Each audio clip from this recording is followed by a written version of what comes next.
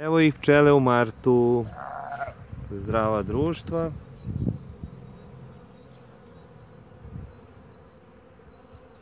Kako zuje.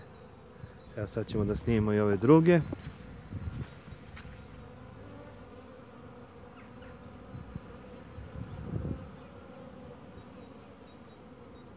Možete vidite pet zdravih društava. Sve su zazimljene na po jednom nastavku, što mislim da je izvaredno za zazimljavanje.